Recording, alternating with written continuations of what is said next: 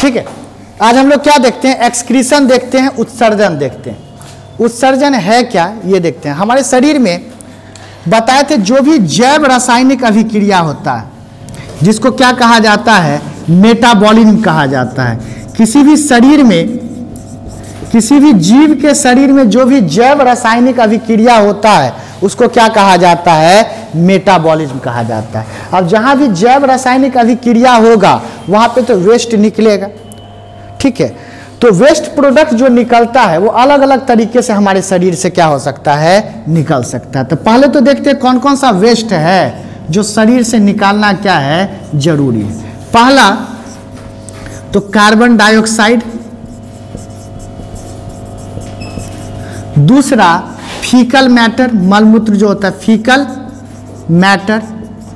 और तीसरा जिसको निकालने की आवश्यकता है, वह नाइट्रोजनी अवशेष जिसको क्या कहते हैं? Nitrogenous waste.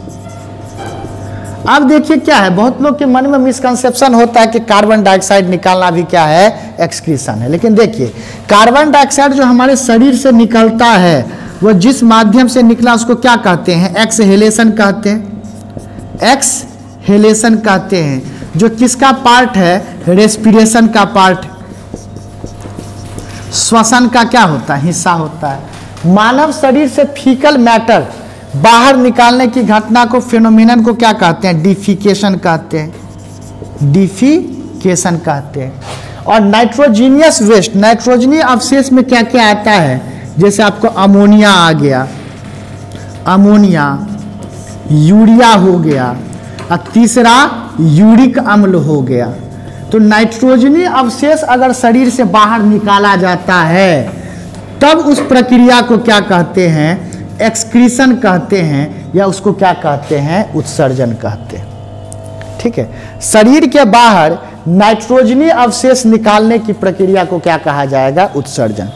मानव शरीर में बहुत सारा वेस्ट प्रोडक्ट होता है। कौन कौन जिसका हमारे शरीर में कोई उपयोग नहीं। जैसे carbon dioxide faecal matter nitrogenous waste carbon dioxide किस प्रक्रिया के द्वारा बाहर निकलता है? रेस्पिरेशन के द्वारा, श्वसन के द्वारा। फीकल मैटर जो निकलता है, वो किसके माध्यम से? डिफिकेशन के माध्यम से। और नाइट्रोजनी वेस्ट शरीर से बाहर निकलने की प्रक्रिया को क्या कहेंगे? उत्सर्जन कहेंगे एक्सक्रीशन कहेंगे। और नाइट्रोजनी अवशेष में कौन कौन आ जाएगा? अमोनिया, यूरिया और यूरिक एसिड हो जाएगा। ठीक है? इसको नोट कर लेना जाते हैं कि उत्सर्जन की आवश्यकता क्या है नीड क्या है।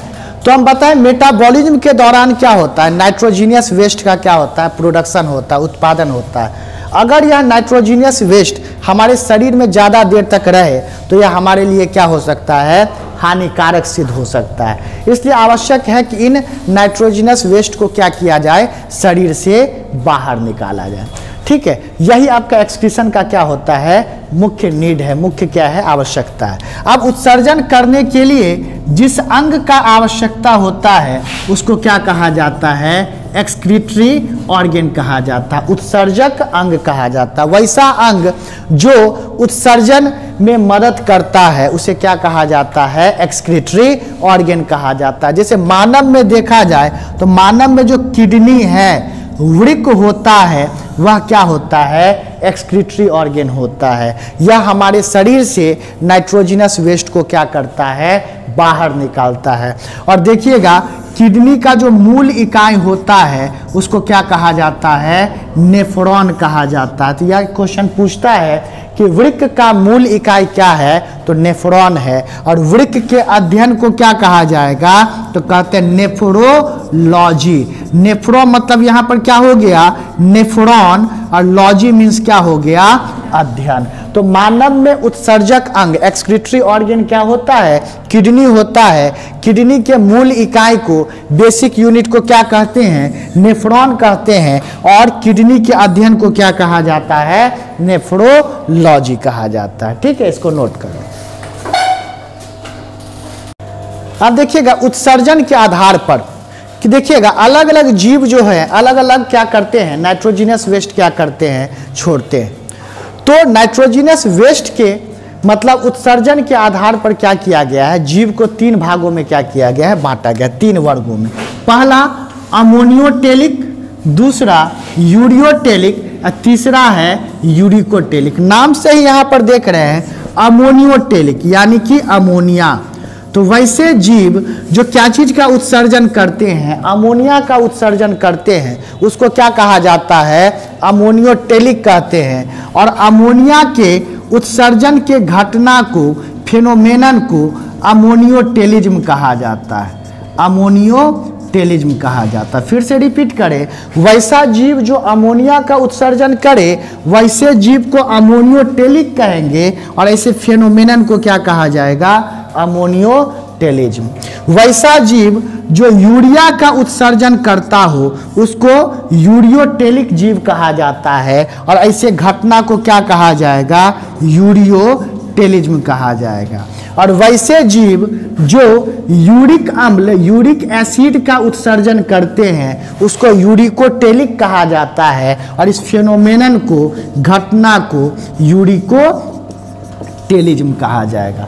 अब यहाँ पे एक चीज़ जान लीजिए, अब अमोनिया निकालना है शरीर से तो ज़्यादा पानी की आवश्यकता होती है, क्योंकि अमोनिया को पानी में घोल के तब शरीर के बाहर क्या करना पड़ेगा? निकालना पड़ेगा। और चूँकि अधिक पानी की पानी की ज़रूरत होती है तो ऐसे जीव कहाँ पाए जाएँगे? जल में पाए जाएँगे। तो जलीय जीव जो होते हैं, वह सामान्यतः आपको क्या होते हैं? अमोनियो टेलिक होते हैं, जो फ़िश है, कुछ मछलियाँ हैं, वह उसका जो एक्सक्रीटरी प्रोडक्ट है, उत्सर्जक जो उत्पाद है, वह क्या होता है? अमोनिया होता है। अब आ जाइए मानव। मानव जो है, वह क्या है? टेस्टियल है, धरती पर आता है। अब क्या है? यूरिया को निकालने के लिए उतना ज़्यादा जल का आवश्यकता नहीं होता है। तो जो ह्यूमन सब है, हम लोग जो हैं, हम लोग आपके क्या हो जाएँगे? यूरियो टेलिक हो जाएँगे।